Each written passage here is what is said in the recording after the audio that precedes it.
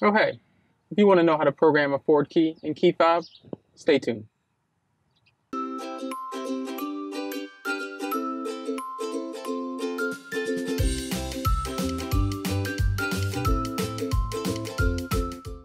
Hello, I'm Derek, and welcome to Hindsight 101, where you'll learn about things that will help you in everyday life.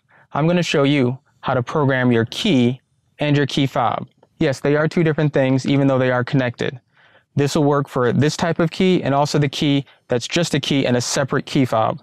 Um, this will work for all 2004 Ford vehicles or later. Full disclosure, I did have some camera troubles and I had to re-record, so this key is already programmed, but I guarantee you this works.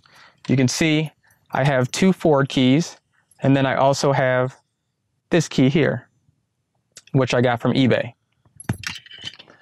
So what we're gonna do is you need two keys in order for this to work. So if you don't have two keys, you're gonna have to go to the dealership, go to a locksmith, or some hardware stores do it as well. So let's get started. You wanna take the key, put it in the ignition, you're gonna hear a chime. Then you have five seconds to put the other key in, then you put the second key in, and then you have 10 seconds to put the key in you want to program. Chime. Got five seconds to put the key in. Chime. You got 10 seconds to put in the key you want to program. Now that key is programmed. But you're going to notice that the buttons don't work. So what you're going to have to do is put it in program mode to get the buttons to work. I'm going to show you how to do that now.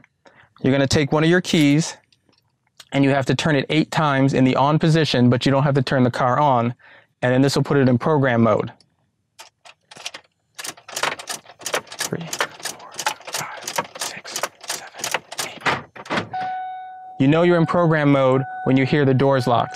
So now what you want to do is hit the lock button on all the keys that you have.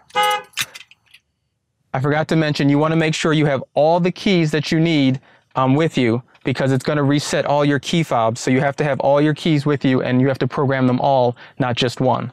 So that's why you had to press the lock on all the keys. Take the key out, you hear the doors lock, that means you're out of program mode. So and then one key, two key, and key three, they all work.